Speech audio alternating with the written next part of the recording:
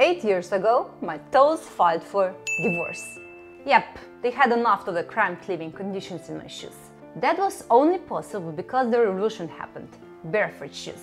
These shoes aren't your grandma's Sunday best, but shoes that are shaped like, well, actual feet. Barefoot shoes are designed to mimic walking, you guessed it, barefoot.